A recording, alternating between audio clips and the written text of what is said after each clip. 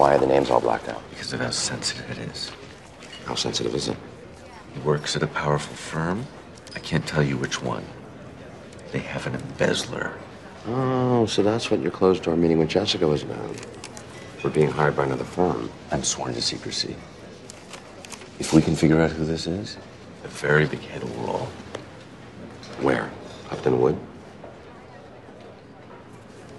Bagwell and Rose? Oh, come on. Those assholes at Jacobson and Kearney?